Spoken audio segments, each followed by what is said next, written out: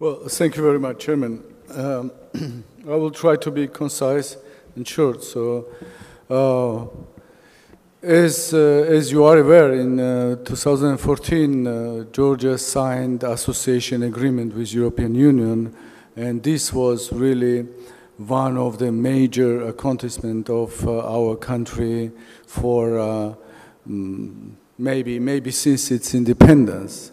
As far as uh, Georgia aspires to become member of the European Union, the association uh, with European Union is uh, probably the uh, mm, uh, almost institutionally it's uh, it's the last stage towards this goal, saying that there is no higher rate agreement or institutional arrangement between EU and the third country uh, higher before the membership agreement, of course, then this one, then association agreement. But uh, Georgia signed uh, not just an association agreement with European Union, because the European Union has uh, lots of association agreements uh, all around the world, including, for example, association agreements uh, with the Mediterranean, Euro-Mediterranean association agreements, for example, with uh, southern Mediterranean countries, or association agreement with Chile or Mexico um, or other states. Uh, EU-Georgia Association Agreement is um, uh, equally like uh, EU-Moldova and EU-Ukraine Association Agreement is very special. It's almost uh, same uh, uh, type of agreement as were signed with Western between EU and Western Balkans, which became potential candidate countries, and it's almost same type of agreement that uh, EU signed uh, uh, before um, in 1990s so-called Europe agreements, which which been signed with Eastern and Central European states granting them possibility to, uh, for accession of the European Union. So functionally, we can say that the European Union-Georgian Association Agreement is, this, is the highest uh, type of agreement that, that can exist between EU and the, and the third country. What, what is the meaning of this, of my uh, consideration about the uh, higher level of agreement.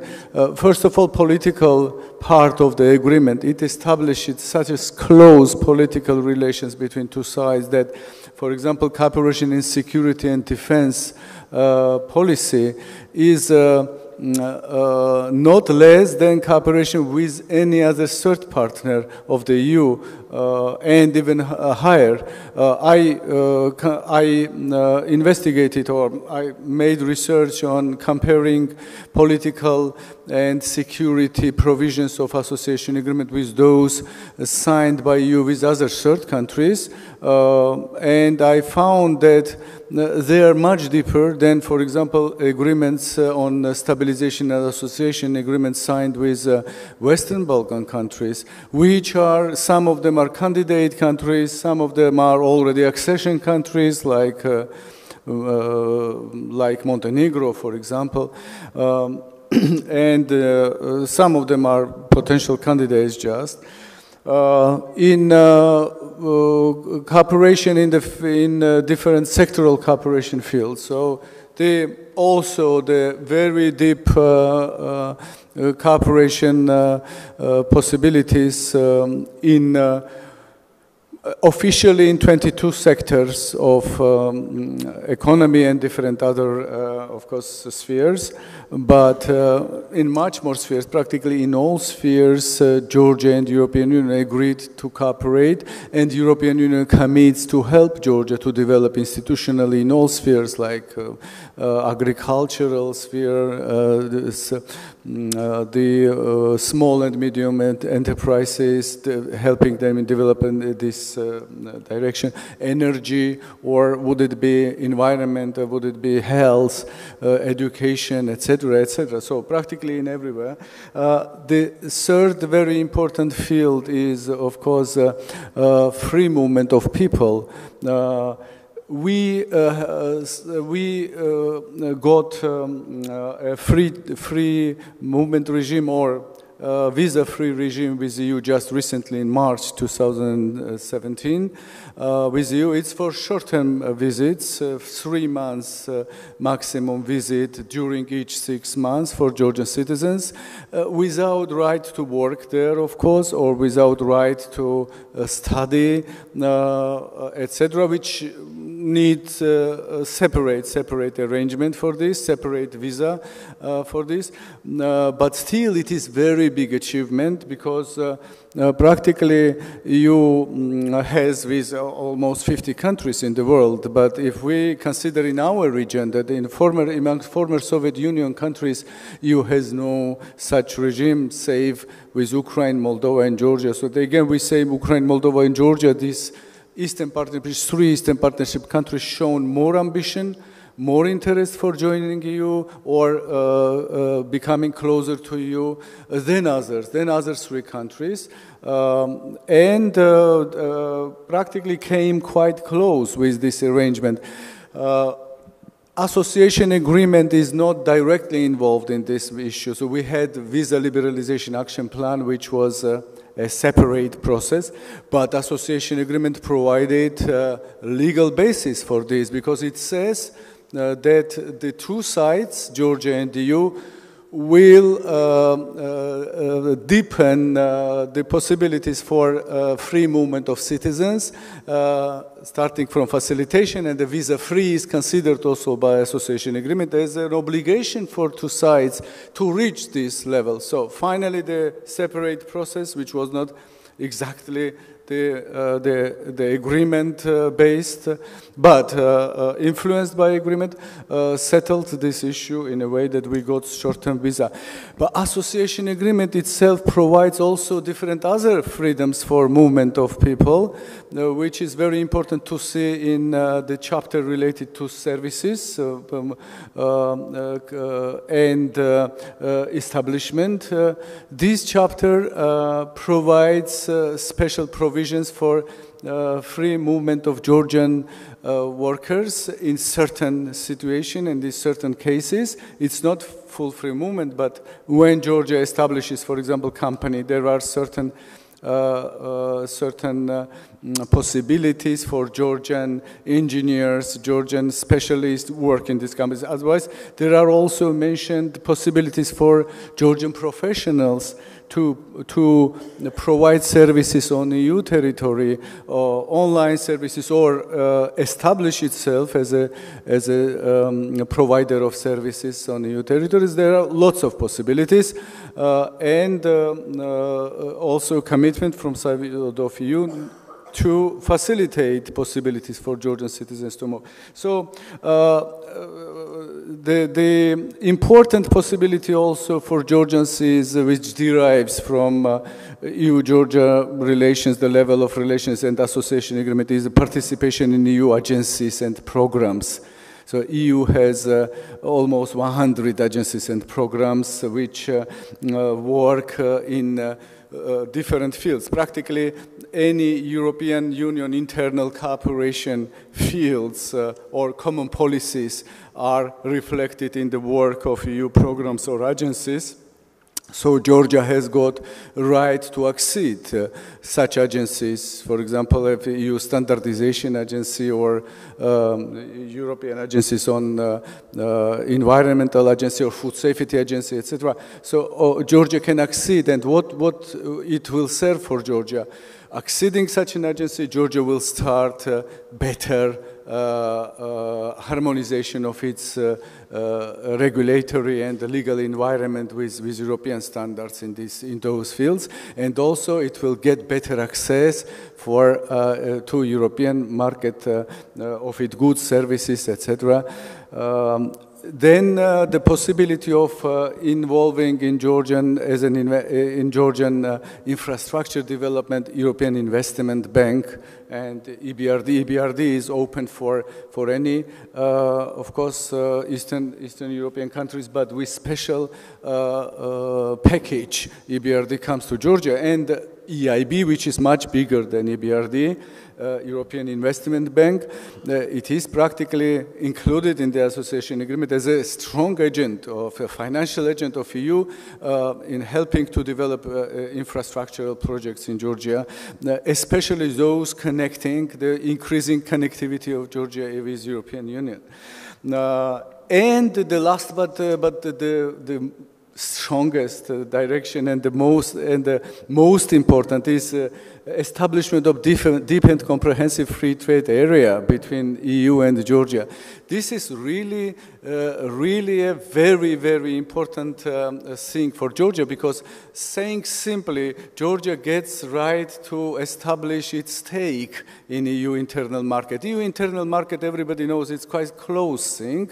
It's, uh, uh, it, it has risen very high uh, non-tariff barriers. One thing is that tariffs and the customs duties, which, which are not uh, as, as small. I think uh, I also, invest, uh, I also made some research about EU tariffs, and I, I saw that uh, the average uh, tariff uh, duty for agricultural goods, including specific and uh, um, the ad valorem duties, if, if you combine them and recalculate, they, they, they, amount, um, they amount to 14 percent of, of the value of the products, imported products.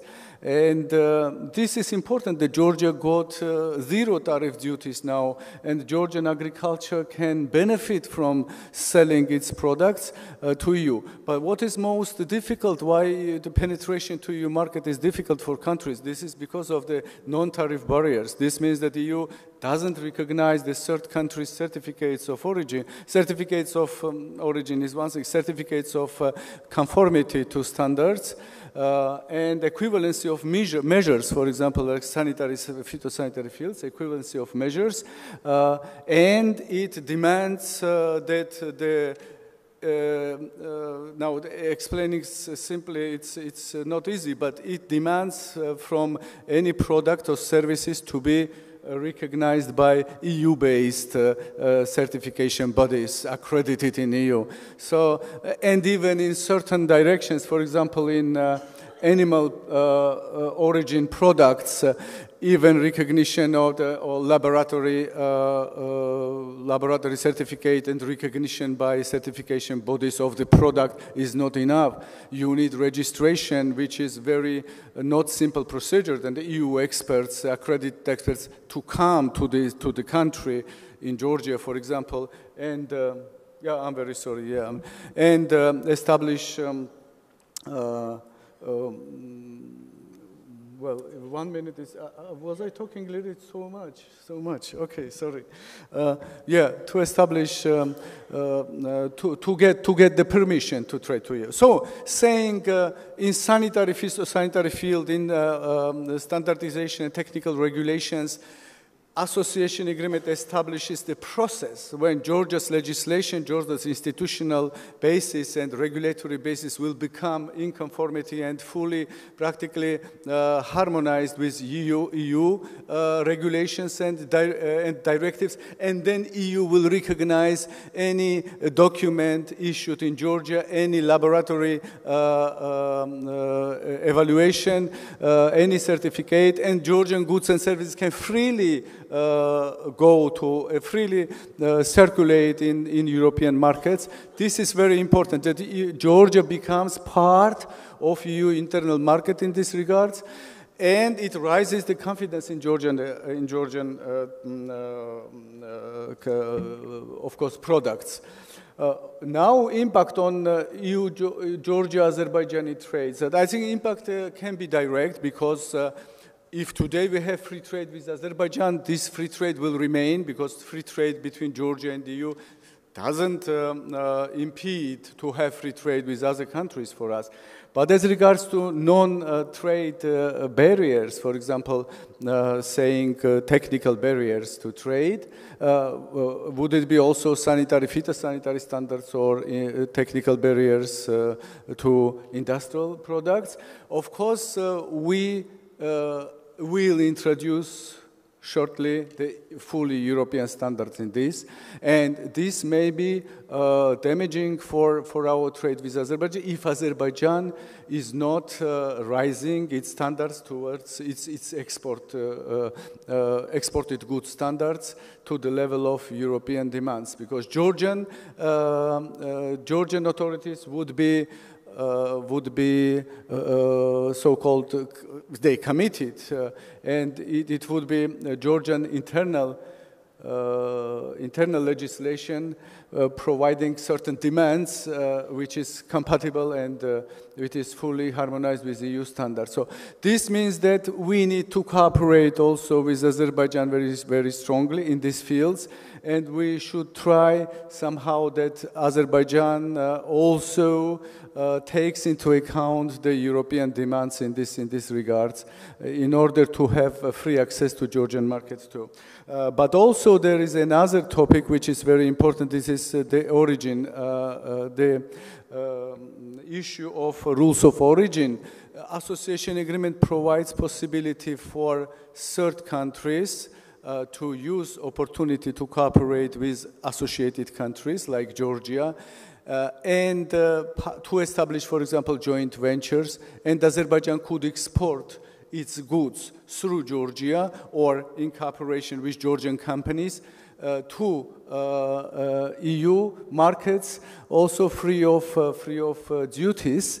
Uh, I, it doesn't mean that Azerbaijani goods can go to Georgia, register there, and go to the EU markets free of duties. It is not possible.